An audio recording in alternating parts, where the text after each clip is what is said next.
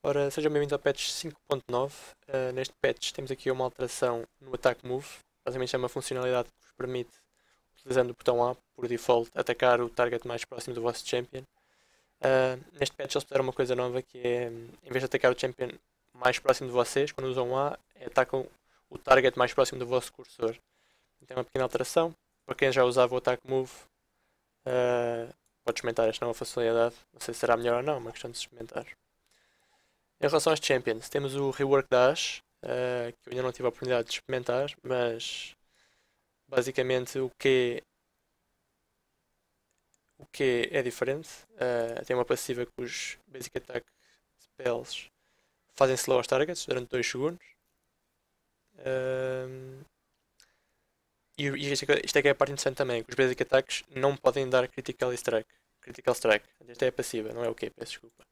Uh, ela acho que agora faz sempre slow, independentemente de ter mana ou não. Antes era o que dela que fazia o slow quando estava ativado. Neste momento ela faz sempre slow. Um, e não pode mandar crits. Mas os seus ataques normais fazem mais damage consoante a crit chance. Basicamente, em vez de ser random, e quanto mais crit num champion normal se tem crit chance, às vezes faz um crit, faz muito damage, outras vezes não faz. Portanto, em vez de ter um valor random, uh, quanto mais crit chance ela tem, mais damage vai fazer com, com auto-attacks. Basicamente é assim que vai funcionar as, em relação ao quê? Um, basicamente, fazendo auto-ataques, ganhas focos durante 4 segundos. Isto pode destacar até 5 vezes. E ativando este Q, consome o, o, estes ataques de focos, ela ganha ataque speed. E caso tenha 5 stacks, um, ela basicamente faz um ataque que parece uma metralhadora, em que faz muitos ataques seguidos. Uh, basicamente é um burst de damage enorme que ela tem. Portanto, cada auto-ataque que ela faz estaca, se tiver 5 e ativar a habilidade ganha, ganha isto. Portanto, tem um cooldown bastante elevado. Provavelmente é capaz de usar uma vez perfeito. Usando no momento certo consegue ter um burst bastante alto. O W Volley basicamente não sofreu grandes alterações, um pouco menos de mana cost. Dispara mais flechas, passou de 7 a 9. Um... Agora a diferença é que os inimigos conseguem bloquear bastantes arrow, bastante flechas e não só uma. Uh, antes, anti-gás, ela teve quando usava o W, o inimigo salvava com uma flecha e mesmo tivesse uma flecha ao pertinho, ignorava-o e continuava, portanto podia atingir os targets atrás dele. Agora neste momento imaginem, vocês um W contra um Shogath com 6 stacks, o Shogath quase consegue, apesar de só levar damage de uma arrow, consegue absorver quase todas, portanto fazer de barreira e com isto acho que não consegue chegar à backline. Portanto, é a alteração que sofreu aqui o W. O E também sofre uma alteração interessante, antes tinha um range limite e agora passa a ser global apesar de continuar a ser lento, uh, isto permite ter pronto, mais visão do, dos no mapa, nomeadamente para ver barons e, e dragões, uh, é bastante útil, bastante útil mesmo. E também tem dois chargers, antes tinha só um e agora podes guardar dois. Portanto, uma alteração interessante não é sem dúvida. O R uh, praticamente é igual, continua a ser o ulti, continua a ser o Marrow, faz stun. Antes fazia 50% slow a quem não acertava ao stun e agora faz o slow é consoante o Frost Shot Current Value, portanto tem em conta, tem em conta a, passiva dela. Portanto, quanto mais tarde no jogo, mais slow vai fazer, early, mais early não vai fazer tanto slow. Portanto, temos aqui um, o rework da Ash. Na minha opinião, torna bastante mais viável do que ela era. Não sei até que ponto é que vai, é que vai encaixar na, nos tiers da carries. Se ela vai ser jogada ou não, porque continua a não ter muita mobilidade mas sem dúvida que fica mais viável do que estava antes. Basicamente ganhou uma nova habilidade aqui no Q. Uh, possivelmente vai, vai se ver um pouco agora mais neste patch, nem quando é que ela saiu, a malta quer experimentá-la, mas prever ou não se ela vai ser muito jogada e vai se tornar uma pick viável competitivamente é, é complicado de se dizer. Em relação à Akali, ela tinha levado uns nerfs nos patches passados que praticamente puseram como inviável e completamente champion inútil. Ela recebe aqui umas alterações, eles chamam-lhe buff, buffs, eu chamo alterações. Uh, o Edakali a nível 5 tem apenas um segundo de cooldown e tem um pouco mais de AP em termos de scaling, passa de 0.3 para 0.4. Isto parece excelente e é o P, generem um segundo de cooldown para spamar, mas a Akali não tem mana, tem energia e o E até tem bastante custo de energia. Por isso ela acaba por não conseguir spamar isto assim tanto, apesar de praticamente não ter cooldown, ela está gated pela energia. Portanto, isto não é assim um buff tão espetacular como pareça. Basicamente, capaz de ajudá-la na wave clear. Ela pode spamar mais para limpar as waves, mas só late game mesmo. Portanto, se ela quiser ir para o split push. Em termos de teamfighting e de, duelos, isto não vai ter praticamente impacto nenhum. Em relação ao ulti, uh, também sofreu aqui uma alteração. Que é, a Akali antes usava o ulti num target e ia parar em cima dele. Uh, com esta alteração, a Akali vai parar, passa pelo target e vai parar cerca de 150 unidades atrás dele. Basicamente é parecido ao Fizz, quando usa o Q também vai parar atrás do target.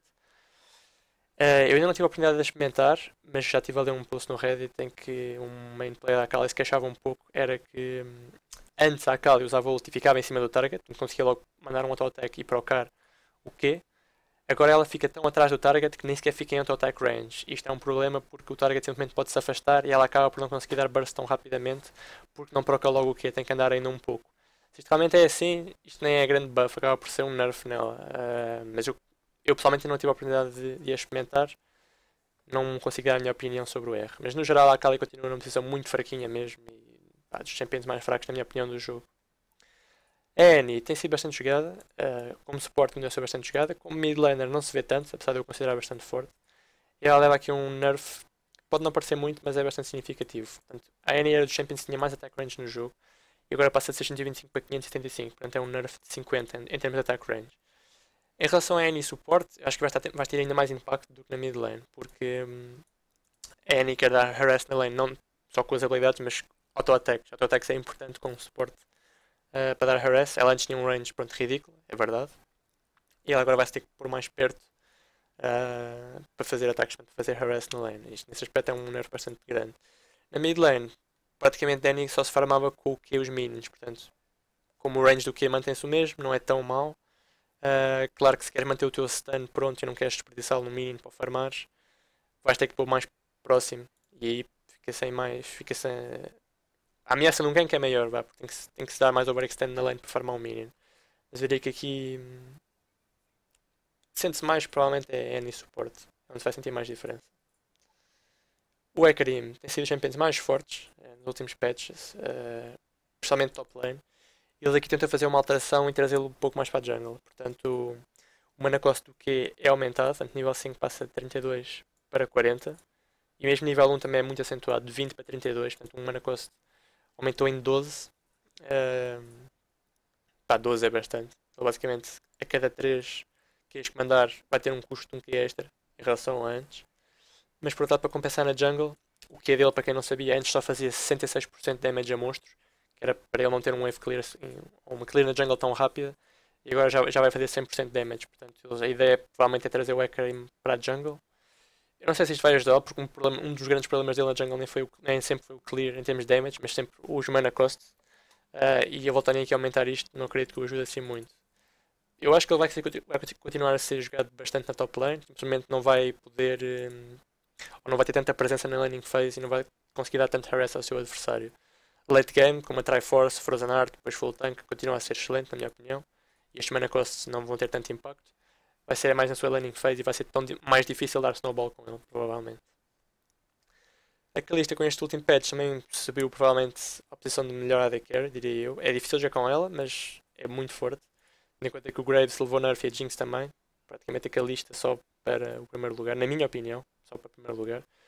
Um, e ela este patch sofre aqui, um, sofre aqui um, um nerf na passiva. A passiva da Kalista, como vocês sabem, é que cada vez que ela manda um auto-attack consegue saltar uh, para qualquer lado. Uh, e até agora ela se saltasse para a frente ganhava uma distância X, mas se saltasse para trás, portanto para dar kite, era X mais 25%. Ou seja, ela saltava uma distância maior quando estava a fugir de alguém. E basicamente isso vai ser removido este patch. Portanto, ela não vai conseguir fugir com tanta facilidade dos Champions. A distância que ela vai percorrer tanto para a frente como para trás passa a ser a mesma. Basicamente querem afetar o, o potencial de kite que ela tem. A Morgana também sofre aqui um nerfzito e diria que isto é mais é mais para top lane e mid lane Morgana do que supostamente suporte Morgana. Suporte Morgana também não dás max no W uh, em primeiro lugar, nem em segundo, nem em terceiro lugar. O W é praticamente só para procar o Spell Thief na lane. Um, portanto, o W acaba por levar um nerf significativo, nível 1 de 12, passa, passa, passa a 8. Uh, ah, isto é mais porque tanto mid Morgana como top Morgana tem um push potential da lane gigantesco, uh, pondo um ou dois Ws uh, na wave dos minions. Basicamente limpas a wave sem problemas nenhums e depois consegues ir fazer home.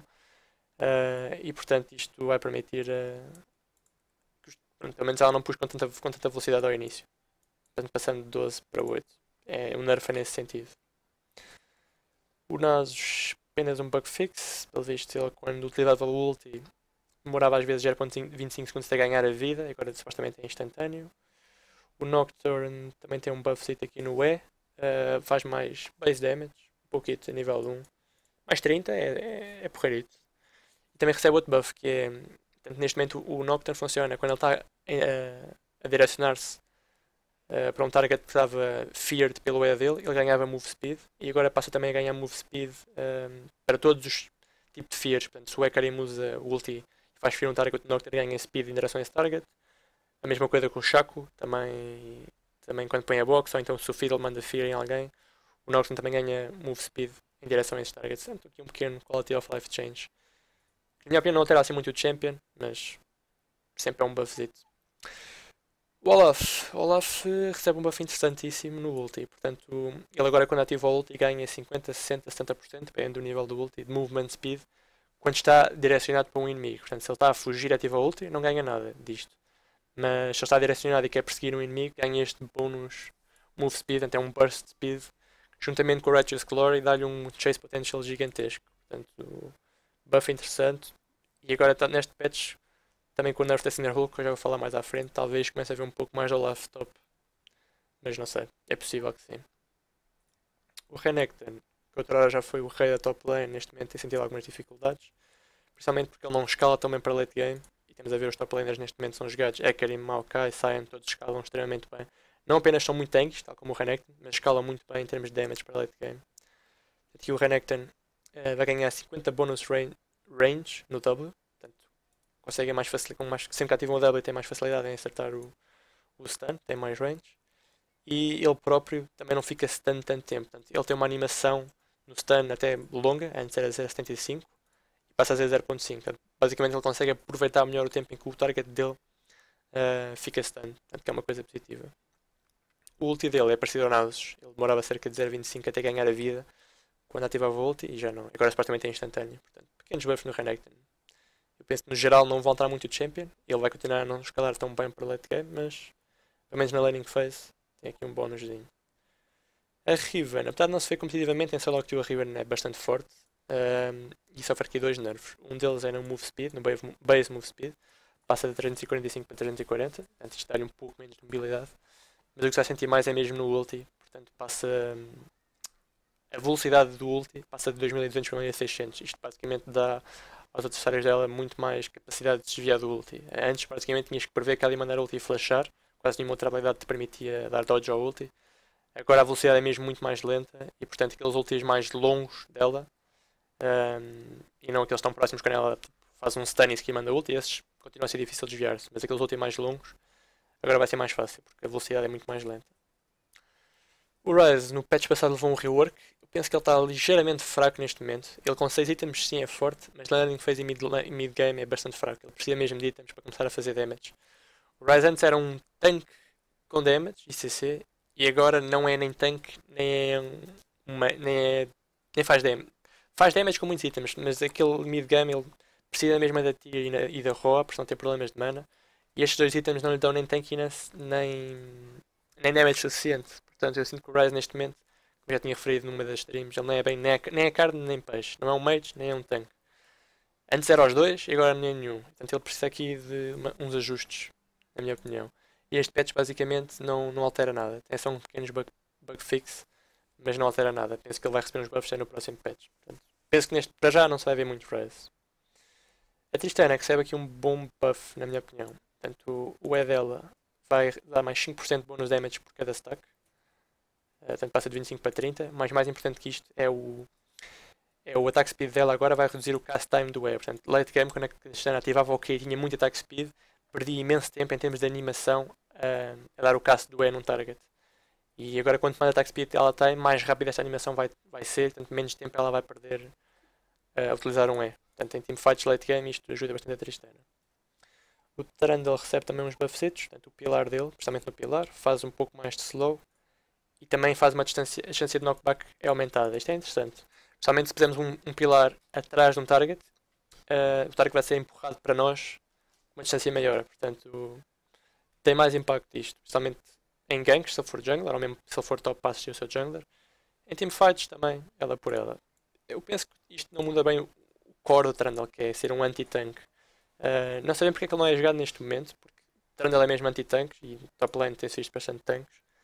Mas pronto, isto é sempre dar uma ajuda ao Trundle e torna o E dele o pilar mais.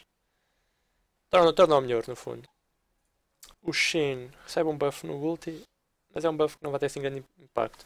Basicamente, o ulti dele vai aplicar um stun 0.75 aos knockback targets. Portanto, ele quando usa o ulti, em vez do target ser só o knockback, também vai estar stun, stun durante o ulti. Eu penso que ao, flash, ao, ao spamar o flash, mal levas com, stun, com o ulti do Shin até agora, tu podias flashar a meio, porque não estava só knockback.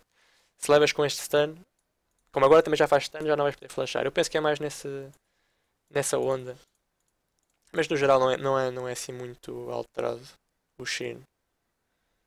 Um, é um pequeno ajuste. Na minha opinião, aqui a maior alteração deste patch e a maior nerf, sem dúvida, vai ser no Zed. Na minha opinião, é completamente desnecessário, tendo em conta que o Zed está numa posição que não está assim muito forte neste momento, na minha opinião. Então eles basicamente neste momento vão alterar, ou alteraram no ulti dele. Ele agora quando usa o ulti tem que esperar um segundo até voltar para a Shadow.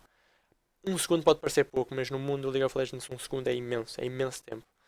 Um, e aqui exemplos é, não tanto na learning phase e nos roams early game, mas imaginem numa teamfight 5 para 5, ele entra num, num carry, seja no mid laner, seja no AD carry, usa ulti e tanto, tanto o jungler como o suporte geralmente são champions com mais CC, vão ter um segundo inteiro para lhe dar CC e não o permitir sair dali.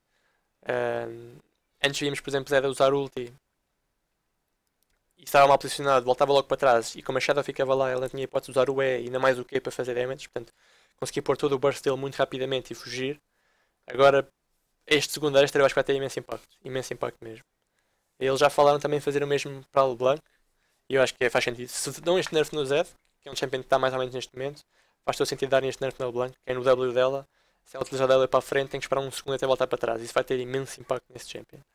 Uh, se já vai ter no Zed neste momento, só no ulti, eu penso que se eles mudarem isso para o Blanco no próximo patch também vai ter imenso impacto. Mas, portanto, na minha opinião, isto foi a maior alteração deste patch. Vai ter imenso impacto na, na teamfighting potential do Zed.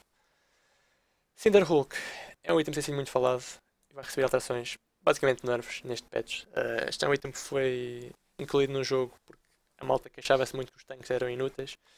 E o, os problemas dos tanques eram, era, na jungle tinha um clear muito mais fraco que os fighters, portanto tinham um clear muito mais fraco com um Lee ou com uma Vi, que é verdade. Portanto, o objetivo do Cinder Hulk era ajudar os tanques na jungle uh, a farmar com mais facilidade e depois também ter bom scaling para late game em termos de tankiness. Uh, e portanto, veio trazer isso de uma maneira até que os fighters como Lee Sin, Vi, Rek'Sai até compravam Cinder Hulk porque o item estava mesmo muito OP. As alterações deste patch, basicamente, é no damage que a Cinder Hulk faz. No fundo, no fundo o Cinder Hulk era uma Sunfire, mas melhor, versão melhor, porque fazia 16 mais 1 uh, pelo nível do Champion Magic Damage por segundo.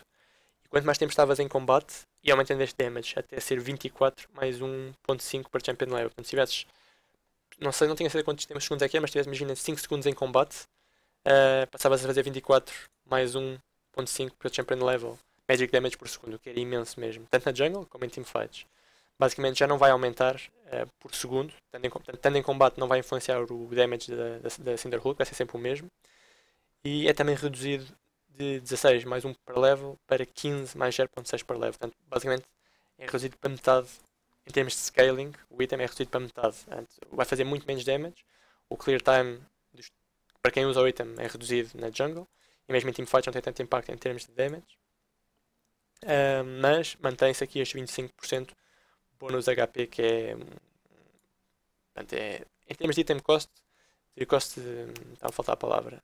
Uh, em termos do gold que se gasta no item e pelas stats que ele dá, continua a ser bastante bom, pelo menos em termos defensivos, porque 25% de bónus de HP é bastante, pouco custa o item. E eles, para compensarem o facto de reduzir aqui o damage, principalmente nas teamfights, estão a aumentar aqui o damage contra os monstros. Portanto, faz mais 100% bônus damage a monstros, que é para continuar a ajudar no wave no clear da jungle. Em termos de teamfighting, é que pronto, já não, ou, ou gank já não vai fazer tanto damage a, a, champions. Eu penso que o item no geral continua forte e vai-se vai -se manter a meta de, um, dos tanques, especialmente na jungle. Eu acho que este nerf é mais apontar para a top lane. Uh, Vê-se muitos champions uh, usar smite top só mesmo pelo item Cinderhook. Porque não só tem itens defensivos excelentes, que é os 25% de bônus health, mas também fazia muito damage a champions. No fundo era uma Sunfire melhorada. E esta parcela aqui já não vai existir, portanto. Acredito que smite top lane já não, já não, se, veja, já não se veja tanto. E aqui o, o nerf na skin da Saber também é para. É, é a continuação disto, basicamente em vez de durar 6 segundos, passa só a durar 4 segundos quando se usa este smite. Então eu diria que top lane, o smite é capaz de desaparecer e ser, e ser apenas usado na jungle. Uh, mas de resto, Gragas, Sejuani continuam a ser fortíssimos uh, com, o Cinder, com a Cinder Hook. Talvez Licina e Rek'Sai que andavam também a usar o item, voltem a usar o item da AD. Mas de resto acho que não vai mudar muito. Uh, era um item que era muito forte e agora em vez de ser muito forte passa a ser forte. E portanto mantém-se a meta dos tanques. O dragão recebe uma alteração também, basicamente vai fazer mais ataques por segundo, passa de 0.45 para 0.5 e tem mais base damage. Basicamente é, é mais. Vai fazer mais damage. Portanto, fazer aqueles early drakes sozinhos vai ser mais difícil. Basicamente é mais. é mesmo para nerfar o early game e não ser possível champions fazerem isto sozinho, principalmente os junglers terem mais dificuldades e ser mais um objetivo em termos de, de equipa e não individual. Uh, de resto, penso que não há assim muito mais este patch. Temos aqui as skins dos Samsung e dos Ace of Spades, Ace Ezreal, Mordecai, Shaco e a da Lux. Mas pronto, de resto, este patch é tudo. Penso que em termos de meta não vai mudar para já. Uh, assim, a maior atração é o nerf da Cinderhook. Ela continua forte. Em vez de ser OP, continua forte, basicamente. Portanto, penso que em termos de meta vai se manter o mesmo este patch. E em termos de Champions, não sei. Em princípio, não, não há assim uma grande alteração de Champion que, que apareça de repente ou algum Champion que vá desaparecer assim de repente. E pronto, malta, espero, tenha, espero que tenham gostado, tenha ajudado esta minha pequena análise ou leitura em português das patch notes. E eu estou de volta no 5.10. Fiquem bem.